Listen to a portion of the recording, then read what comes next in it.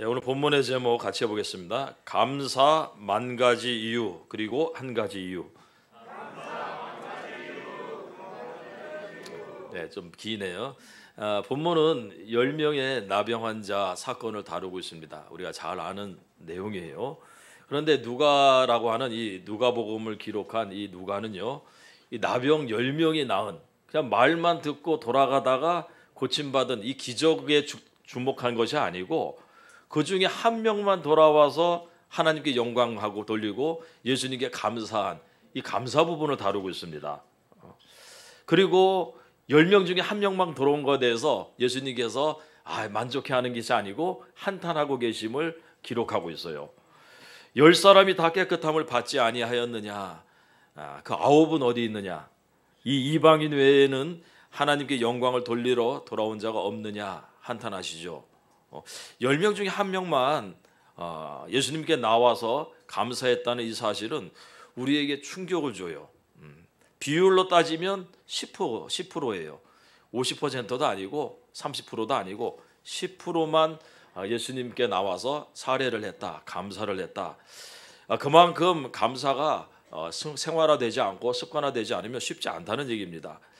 우리가 인정하든 인정하지 않든 이 비율은 지금도 비슷합니다. 아, 우리도 아홉 명에 해당될 가능성이 아주 크다는 거예요. 하나님께 은혜 입은 사람들이 그 중에 어, 열에 한 명만 하나님께 감사를 한다는 것, 열 명이 생명을 다 얻었는데 똑같은 은혜를 입었는데 그 중에 아홉 명은 감사를 하지 않는다.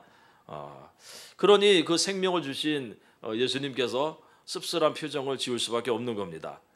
당시도 그렇고 지금도 그렇고 이 나병이라고 하는 것은 불치병이에요. 그 저주의 병에 해당합니다. 아, 그래서 사람들과 같이 어울려 살 수가 없고 혼자 어, 마을 바깥에서 혼자 살아야 되거나 그 나병 환자들끼리 모여 살아야 됐습니다. 그리고 가족들이 그곳에 먹을 걸 갖다 주면 그 멀리서 그 먹을 거 갖다 놓은 거 보고 또 가져가서 먹고 그게 이제 당시 생활이었습니다. 우리나라에서도 이 문둥병이라고 하는 이 나병은 끔찍한 병이었는데 그 2016년도에 동아일보에서 소록도에 대해서 어, 네 번에 걸쳐서 기사를 올린 적이 있어요. 그 소록도라고 하는 게 그 어린 사슴의 모양을 닮아서 소록도 이렇게 이름이 붙여졌는데 이게 일제가 1916년도에 나환자 격리 정책에 따라서 어, 소록도에다가 나환자 환자들을 위한 그런 마을을 만들었습니다. 이제 거기 동아일보에서 기사를 올리면서 사진 한 장을 올렸는데 그 당시 1900년도에 그그 그 당시에 사진을 올렸습니다. 흑백 사진이었죠. 길을 갔다가 이렇게 쭉 놔두고 어, 한쪽에는 한 초등학교밖에 안 되는 10살 남짓된 아이들이 쭉 늘어서 있고요. 또 그 맞은편에는 그 흰색 저고리와 치마를 입은 그 어머니들이 여자분들이 쭉 늘어서 있습니다. 어, 서로 마주 보면서 그 그 대열이 얼마나 긴지 100m가 넘어요. 100m가 넘게 아이들이 한쪽에는 서 있고 한쪽에는 어머니들이 서 있는 거예요. 그리고 면회하는 장면이에요. 음. 얼마나 마음이 아팠겠어요. 자기 아들 딸을 갖다가 그 소록도에다 떼어놓고서 마주 보면서 말도 못하고 서로 손도 잡아보지 못해요. 그냥 딱 요즘에 우리 어, 격리하면서 이렇게 서로 이렇게 거리두기 하는 것처럼 그렇게 보고 가는 거예요. 그 당시에 나병의 발병이 어린애에서 걸리는 게 아니고 어린 아이 때 발병이 되다 보니까 그냥 자식하고 생이별하는 게 비일비재했습니다. 아마 오늘 본문에 나오는 사람들 역시 예수님 만나기 전까지 오랫동안 작게는 뭐 한두 달부터 길게는 몇십 년씩 그렇게 나병 생활을 하고 있었을 거예요. 그러다가 예수님의 소문을 듣게 돼서 희망을 갖게 됐을 겁니다. 맹인이 보며 못 걷는 사람이 걸으며 나병 환자가 깨끗함을 받으며 못 듣는 자가 들으며 죽은 자가 살아나며 가난한 자에게 복음이 전파된다라. 아, 그 당시에 그 병 기적 중에 나병이 들어가 있죠. 나병 환자가 깨끗함을 받고 있다. 이 소식이 가족들로부터 전달이 됐을 겁니다. 그러면 남은 건 뭐예요? 예수님 만나는 것밖에 없죠. 근데 만날 길이 없는 거예요. 이게 일반인들에게 가까이 갈 수 없는 게 아, 나병입니다. 음? 문 나을 수 있는 방법을 알면서도 예수님께로 갈 수 있는 방법이 없었다는 것.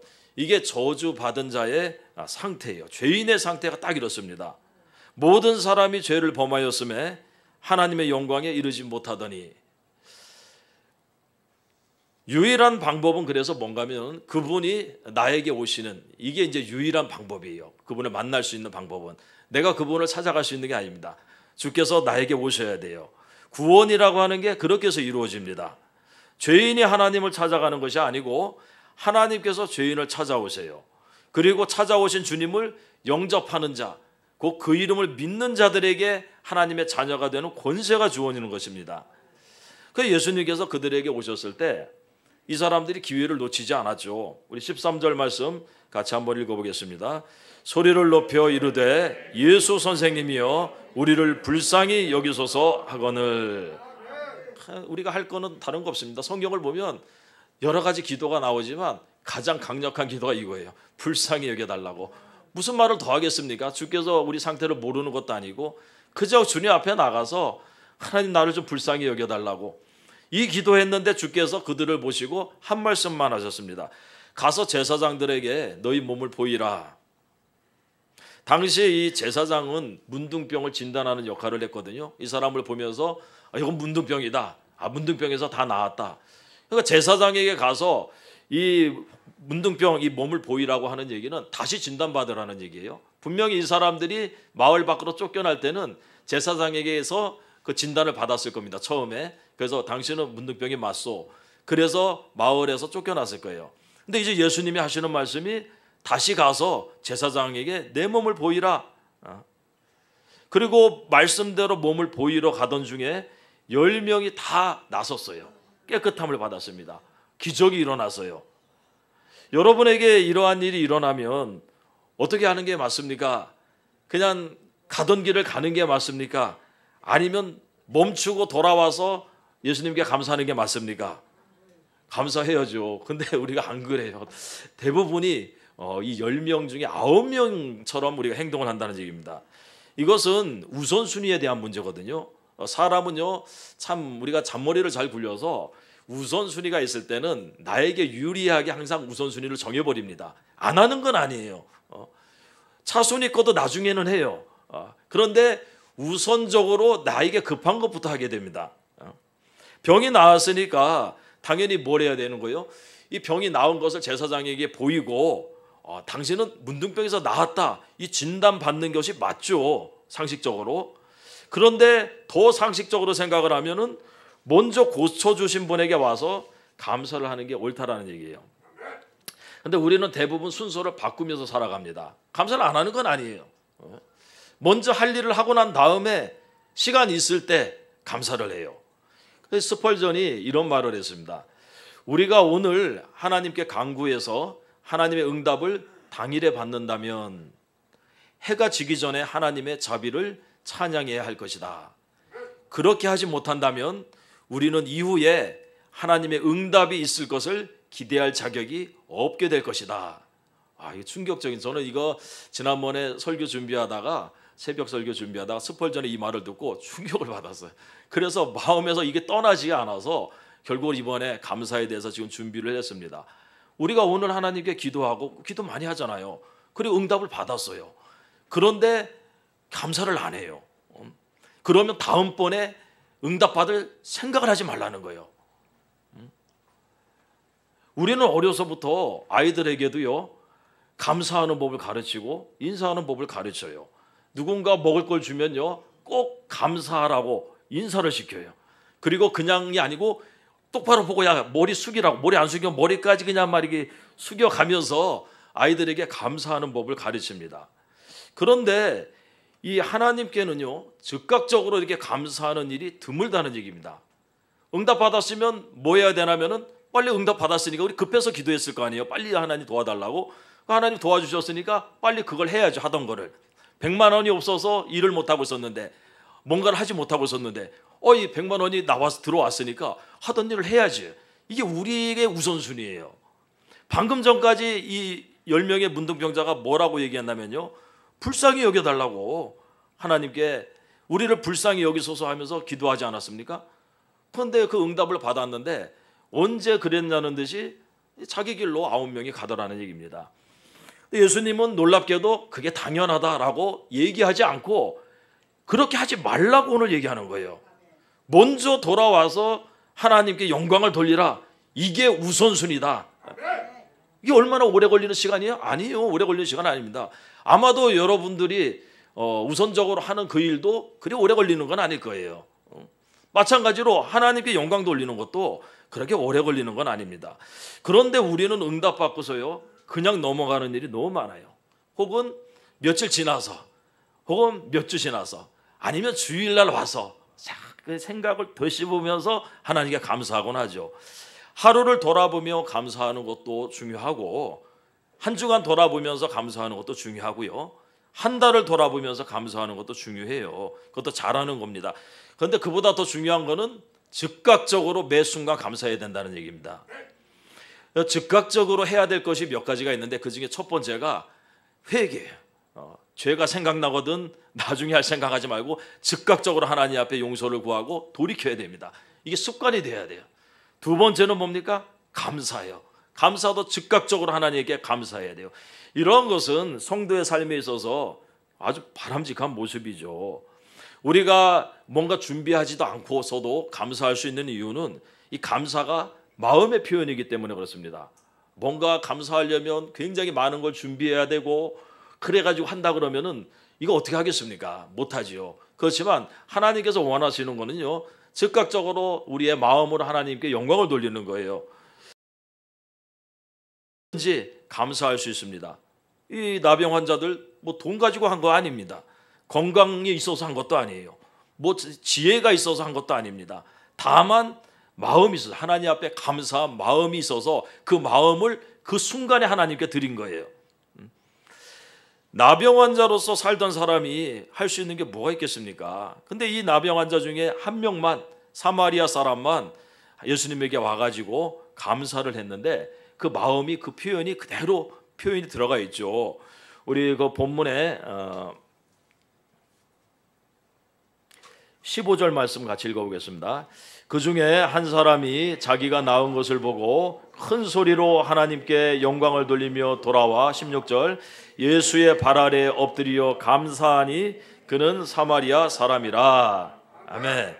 어, 누가 봐도 이 사마리아 사람이 감사가 느껴지죠. 어, 왜냐하면 자기가 더 우선적으로 해야 될 것이 있음에도 불구하고 예수님에게 돌아왔다는 게 일단 마음이 있었다는 거고 또 하나는 예수님 앞에 엎드려서 감사했다는 게 정말 고마움이 느껴지죠. 어? 나병에서 고침받은 것에 대한 사례로는 이거는 택도 없죠. 뭐 이렇게 한다고 되겠습니까? 정말 전 재산을 다 드려도 부족하죠. 그런데 즉시 해야 할 감사로는 합당하다는 얘기예요. 우리도 마음을 원해요. 사람들 저 사람의 마음이 나에게 어, 향하는 걸 원하죠. 마찬가지로 하나님 역시 우리의 마음을 원하신다는 걸 알아야 됩니다. 고린도후서 8장 12절에 할 마음만 있으면 있는 대로 받으실 터이요 없는 것은 받지 아니하시리라.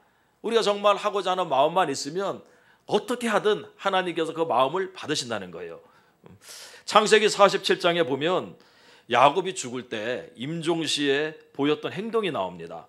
하나님께 감사를 했는데 요셉에게 유언을 한 후에 아, 그가 침상 머리에서 자기가 누워 있던 죽을 때가 다 됐으니까 침상 머리에서 일어나 가지고 지팡이를 의지하면서 하나님께 경배를 드렸어요.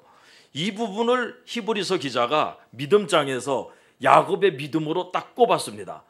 야곱이 147년을 살면서 굉장히 많은 일들을 했잖아요. 많은 믿음의 행동들을 했는데 그거 다 기록하지 않고 하나도 기록하지 않고 맨 마지막 임종시에 보였던 그의 경비하는 태도, 자세를 가지고 이게 야곱의 믿음이다 하고서 기록을 했습니다.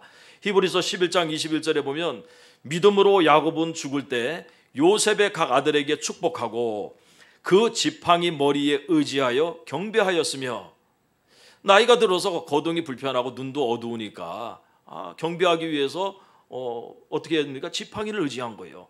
그리고 부축 받아가면서 자리에 앉아가지고 자기가 할 수 있는 최선의 방법으로 하나님 앞에 경배했다는 얘기입니다. 어, 오늘날 여러분들 그 어, 하, 어, 한국 교회에 무너지고 있는 게 뭔가면 이런 모습들입니다. 언제부턴가 비대면 예배하겠다고 그래가지고 그냥 하나님 앞에 마땅히 우리의 드려야 될 이 마음을 다하는 모습 이게 사라지고 있어요. 누워가지고 핸드폰 보고 있고 TV 보고 있고 그게 예배 드린다고 생각하고 있습니다. 아닙니다, 여러분들. 과연 우리가 하나님께 하는 모습들 지금 이 사마리아 이 나병 환자도 예수님 옆에 와가지고 바짝 엎드리면서 감사했잖아요. 뭐 엎드릴 필요 있습니까? 그냥 일어서서 아유 감사하다고 고개 숙여도 되죠. 근데 자신의 마음인 거예요, 이게. 이게 자신이 지금 느끼는 감사하는 마음을 그렇게밖에 표현하지 못한 겁니다. 음. 감사는 힘든 것은 아니지만 이 마음을 표현하는 것은 쉬운 일이 아니에요. 사마리아의 나병 환자나 야곱이 마음을 다하는 모습들 참 이거 귀중한 모습들입니다.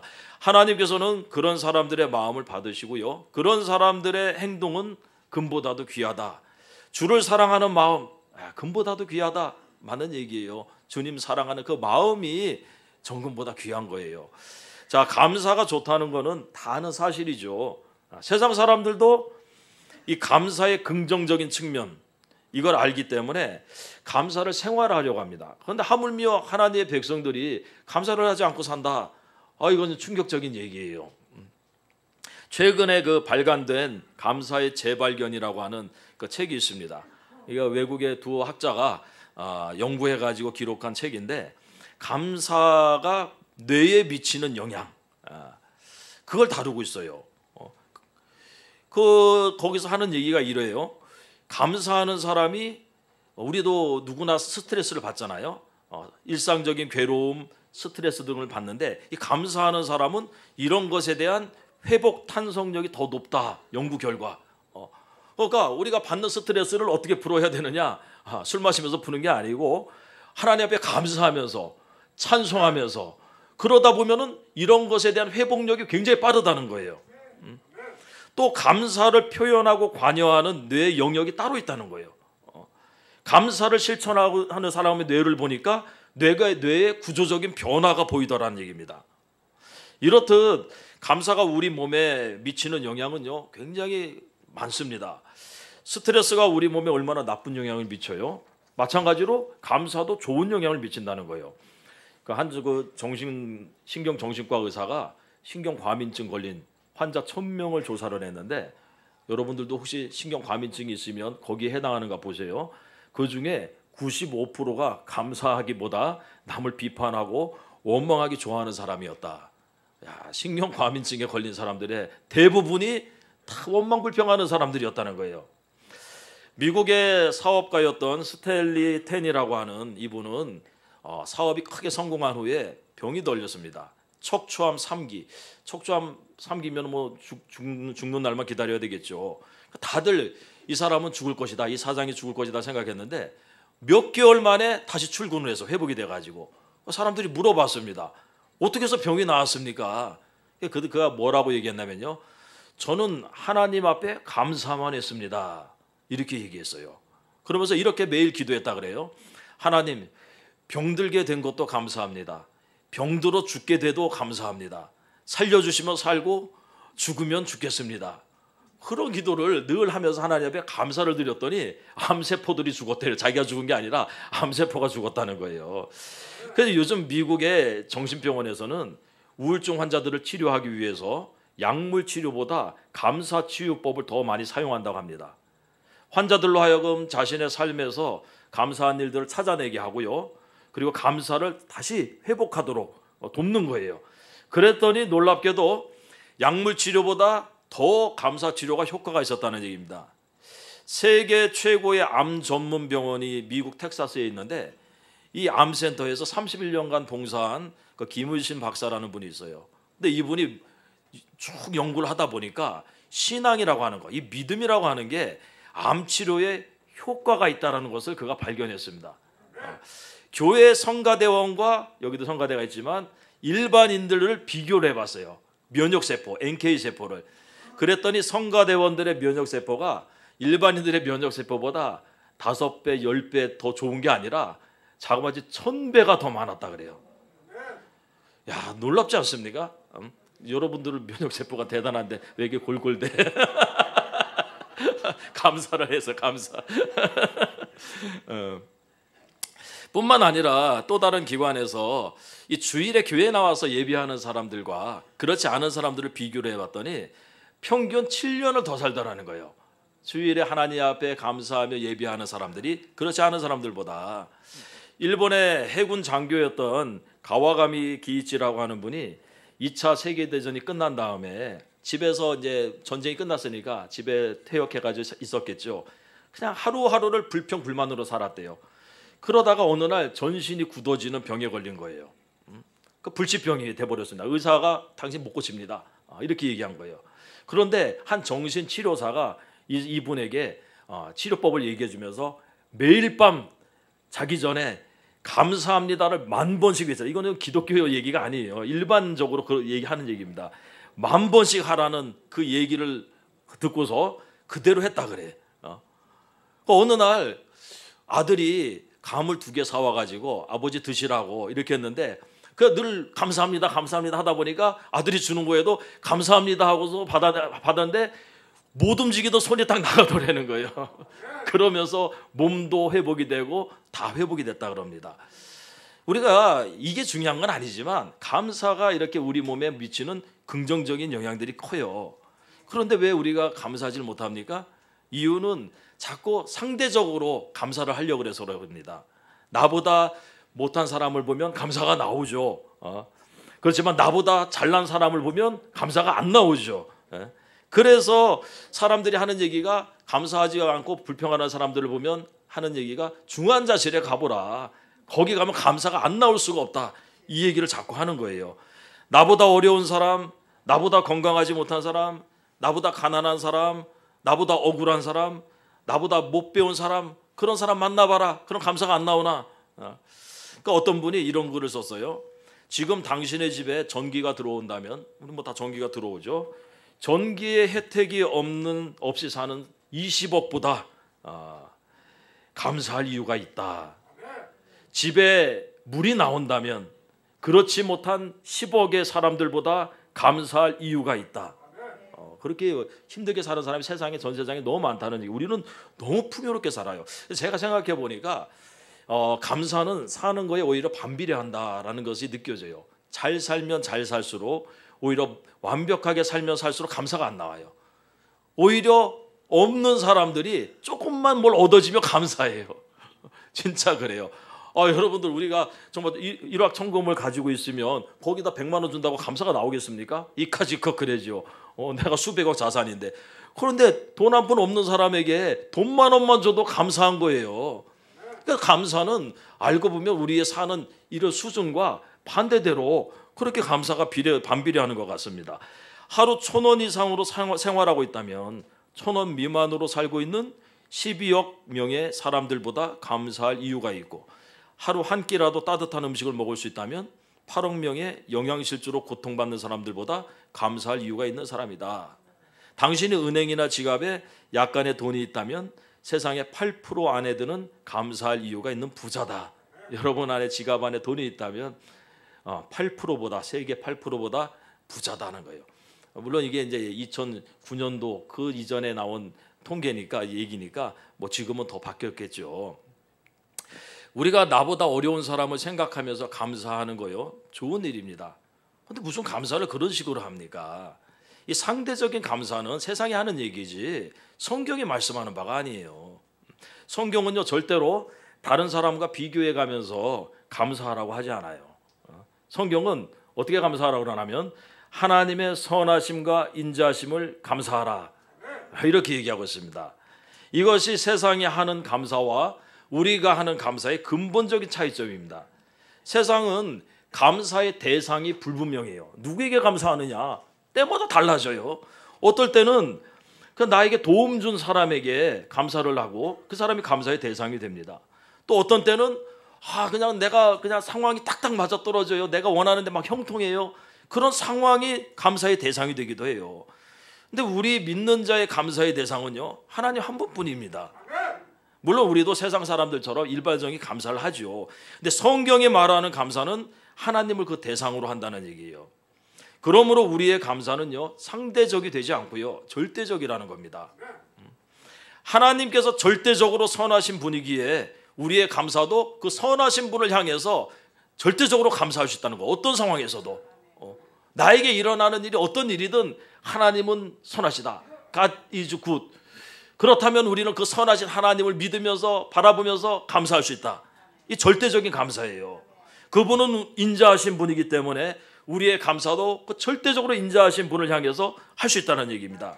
그 대표적인 사람이 욥 아닙니까? 주신이도 여호와시오 거두신이도 여호와시오니 여호와 이름이 찬송을 받으실지이다. 이게 여러분들 절대적인 감사예요. 다 빼앗기고 나서도 바울도 뭐라고 얘기합니까? 나는 비천에 처할 줄도 알고 풍부에 처할 줄도 알아서 모든 일 배부름 배고픔 그죠? 풍부와 궁핍 거기에 처할 줄 아는 일체의 비결을 배워노라. 바울이 늘 감사할 수 있는 우리 보고 범사에 감사하라고 한 이유가 뭐예요? 그가 그 절대적인 하나님을 그 하나님께 감사했기 때문에 그의 감사가 상황에 따라서 바뀌지 않고 그냥 모든 일에 있어서 배가 고프나 배가 부르나 내가 풍부하나 궁핍하나 하나님께 감사했다는 얘기입니다. 우리 믿는 자들이 놓치고 있는 게 이런 부분들입니다. 그런 점에서 이 우리의 믿음, 우리의 감사는 믿음과 연결이 돼서요. 믿음 없으면 감사 못 합니다. 잘 될 때만 감사하지. 이거 세상이 하는 감사예요. 잘 될 땐 누구라도 감사하죠. 그런데 바울처럼 욥처럼 이렇게 할 수 있는 감사는 믿는 자만이 할 수 있어요. 우리는 오늘 본문을 통해서 감사해야 할 제가 만 가지 이유 그리고 한 가지 이유를 얘기했는 제목을 잡았는데요. 만 가지 이유는 우리가 나병에서 고침받은 이 사람들처럼 뭔가 일이 해결되면 하나님께 감사할 수 있습니다. 어? 지금도 수많은 사람들이 수많은 질병에서 고침받고 있어요. 사람마다 이런 기적을 간증하라고 그러면요. 만 가지가 아니라 백만 가지, 천만 가지도 넘습니다. 어떤 사람은 이런 병에서, 어떤, 어떤 사람은 저런 병에서 고침받아요. 또 어떤 사람은 이런 고통에서, 또 어떤 사람은 저런 고통에서 건진받습니다. 10편 107편에 보면 인생에게 행하신 기적에 대해서 하나님을 찬송하라 감사하라 얘기해요. 그들이 그들의 고통 때문에 여호와께 부르짖음에 그가 그들의 고통에서 그들을 구원하시되 그가 그의 말씀을 보내어 그들을 고치시고 위험한 지경에서 건지시는도다. 여호와의 인자하심과 인생에게 행하신 기적으로 말미암아 그를 찬송할지어다. 이런 것들은 지금도 비일비재하게 일어나고요 그 만 가지도 더 넘어요. 그런 감사해야 될 이유들이 우리 가운데. 음. 그렇다면 어떤 사람은 반문할 수 있을 겁니다. 나는 누구처럼 병이 낫지 않아요. 예. 고통도 사라지지 않습니다. 그러면 다른 이유를 찾아봐야죠. 아까 성가대가 찬양한 것처럼 우리가 하나님의 자녀된 것, 우리가 하나님의 나라를 유업으로 얻는 것, 아, 하나님께서 나를 살리기 위해서 독생자를 십자가에 내주신 것, 어, 이런 것들도 어마어마한 근본적인 감사의 이유가 아니겠습니까? 걸을 수 있다는 것, 먹을 수 있다는 것, 여기 다 그렇잖아요. 먹을 수 있다는 것, 숨 쉴 수 있다는 것, 이런 것들이 우리의 감사 이유가 돼요. 어, 여러분도 그렇게 생각할 수 있습니다. 누구나 다 하는 거잖아요. 예, 그렇지 않습니다. 여러분들, 우리 목사님이 그 뇌출혈로 고생하실 때 맨 마지막에는 연화곤란이라고 해가지고 식사를 제대로 못했어요. 어. 한 숟가락 넘기는데 10분씩 걸려요. 그야말로 밥 한 공기 이거 조그만 거 먹는데 한 시간씩 걸려 한 시간씩. 그러니 얼마나 그 식사 해 주는 게 얼마나 곤욕이겠습니까? 그 제가 그러다가 그런 모습을 보면서 어, 집에 돌아와 보니까 저녁에 어, 우리 저기 어, 집사람이 애들 먹은 거 치우면서 그런 얘기를 하더라고요. 이것들은 다 커가지고 먹을 줄만 알지 치울 줄은 모른다고. 어, 우리가 늘 하는 얘기 아닙니까? 저것들은 먹을 줄만 알지 치울 줄도 몰라. 그래서 제가 그런 얘기를 했어요. 여보, 먹을 줄만 알아도 감사해야 돼. 진짜 나는 우리 아버지 때문에 먹을 줄만 알아도 그게 얼마나 감사한 일인지 절실히 느꼈어요. 예? 그 연화곤란이라는 거에 대해서 그 당시에 그, 그것 때문에 제가 많이 찾아보면서 알게 되었는데 참 놀랍습니다. 어, 음식을 삼킬 때는요 똑같은 목구멍인데 음식 삼킬 때는 식도가 열려요. 기도가 닫히고. 어. 그래가지고 식도로 넘어가 위로 넘어가요. 어. 그런데 우리가 음식을 안 먹을 때는 식도가 닫히고 기도가 열려요. 똑같은데. 그러면서 공기가 폐로 들어가 이게 잘 안 되는 게 연화곤란이에요 어. 그러다 보니까 식사할 때 식도가 안 열려요. 어, 나왜 이렇게 막 못생기시는가 그랬더니 이게 식도가 안 열리니까. 아, 그 열려야 되는데 자동으로. 어? 그러다 보면 잘못하면은 기도로 넘어가 버려. 기도로 넘어가 폐로 음식이 들어가 가지고 염증이 생기는 거예요. 여러분 중에 이런 것을 의식하며 사는 사람이 있습니까? 아마 그냥 뭐 음식은 당연히 입에서 삼키면은 목으로 들어가서 위로 들어가는 거지 이렇게 생각하겠지만 안 그래요. 음식이 들어가는 데가 따로 있고요, 공기가 들어가는 데가 따로 있어요. 똑같은 데가. 2017년 음. 기준으로요, 이 단순한 작업이 안 돼서 콧줄로 식사하는 사람이 자그마치 4만 명이 넘어요. 어. 어떤 사람은 이렇게 말할 수도 있습니다. 내가 바로 그 사람이에요.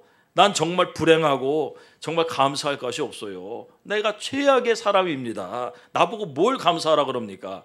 그런 사람을 위해서 이제 제가 만 가지 이유가 아니라 한 가지 이유를 제가 가르쳐 드리려고 합니다. 아마도 이것이 우리가 해야 할 감사의 궁극적인 이유가 될 겁니다. 그것은 뭔가면요. 하나님께서 우리의 감사를 원하신다는 거예요.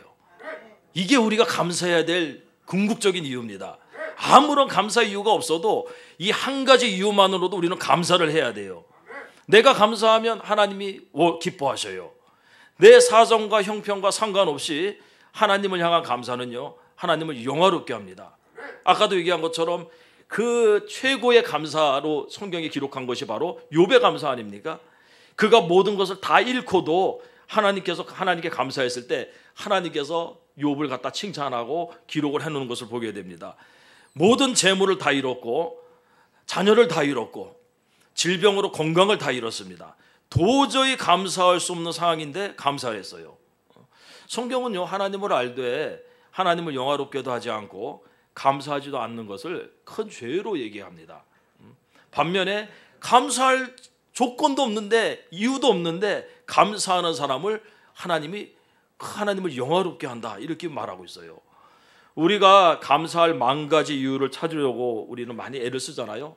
그래서 감사할 게 뭔가 아, 우리가 막 생각을 하지만 하나님께서 감사를 원하신다는 것, 그 사실 하나만으로도 우리는 감사할 이유를 갖게 됩니다.